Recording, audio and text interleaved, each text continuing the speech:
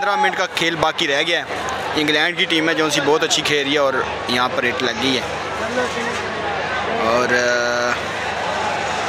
Catch drop होने के बाद बाबर आज़म, आसान कैच था, हाथों में कैच था, लेकिन कोई बात नहीं।